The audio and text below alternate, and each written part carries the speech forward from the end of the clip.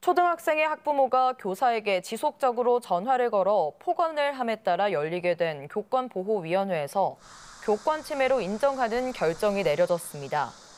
울산시 교육청은 울산의 한 초등학교 교사의 요청으로 지난 15일 교권보호위원회를 개최한 결과 해당 학부모가 약 6개월 동안 반복적으로 전화를 걸어 모욕적인 언행을 한 사실이 인정돼 교권 침해 결정을 내렸다고 밝혔습니다.